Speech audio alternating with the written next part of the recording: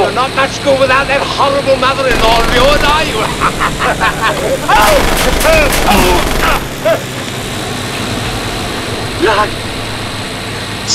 oh! Blood! It certainly is. Oh!